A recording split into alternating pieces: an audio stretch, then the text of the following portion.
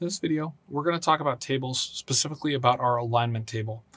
We've already created one in this drawing, but just to reiterate, the way we created this alignment table was by going to the Add Tables in the Annotate tab of the ribbon bar and selecting Alignment and then going to Add Segment.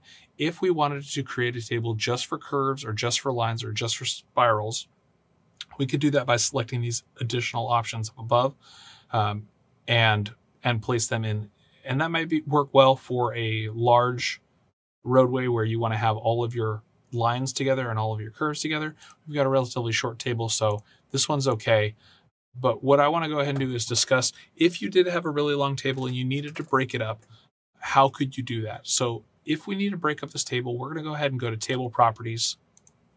And then inside of table properties, under split table, if you need to break up the table because it's too tall, let's say, for example, in this one, we only wanted it to be three tall, maximum. So I would say maximum rows per table, three. And then if I needed to, I could extend my maximum tables per stack, but three will be acceptable for this. Then our offset and how we want to do it, if we want to do it across or down, and then our behavior for this table, we're going to leave it as dynamic. So I'm going to go ahead and click OK. And what you'll see happen is that I now have three in this stack, and then I go over and the remainder two, the remaining two, go into a new stack.